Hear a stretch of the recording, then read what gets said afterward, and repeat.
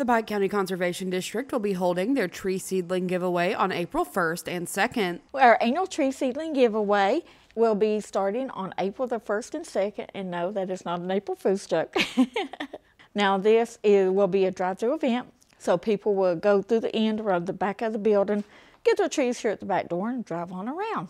Hillbilly Havoc Weekend of Destruction Demolition Derbies are coming to Pikeville Friday, Saturday, March 29th and 30th, 7 each night. Appalachian Wireless Arena, Pikeville. It's going to be a crashing good time. Be there.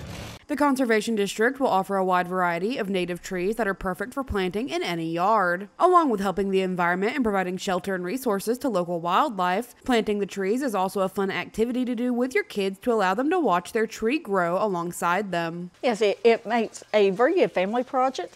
Uh, teach a kid how to plant tree, how to plant it properly. Let them watch it grow, and as they get over over the years, they can remember, hey, I helped plant that tree when I was little.